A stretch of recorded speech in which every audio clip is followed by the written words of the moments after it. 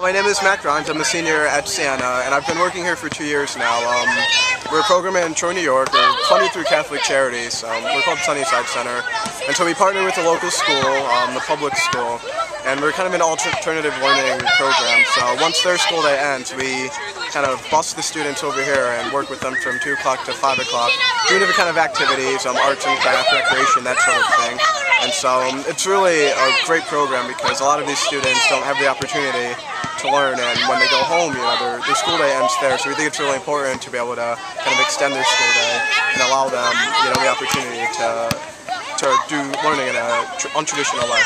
Right. What made you reach out and ask for the Siena basketball team to come today, and what's that experience been like? Well, just given the spirit of Siena and being a Siena student, I thought it would be nice to reach out to the community, you know, given the spirit of St. Francis, and having them come and sort of give back to the community um, and to my community. And I just think it's been an incredible experience. The players have just been so great. Um, the children are really happy and excited that Siena was able to come.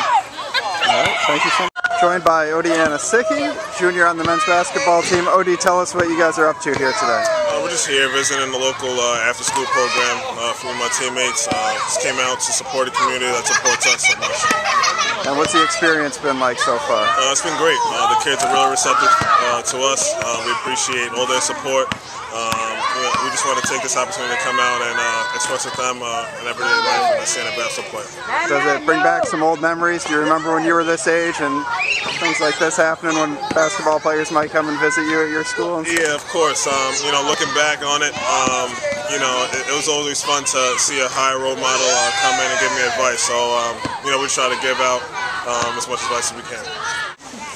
All right, so growing up, I went to high school, like I said, in Staten Island, New York. I was on the basketball team there. Um, my high school gave me a great opportunity to go to college for free. Um, not only was, you know, that I applied myself to basketball, but I had to apply myself to the classroom as well. You guys went throughout the year so far. Do you have any girls on your team?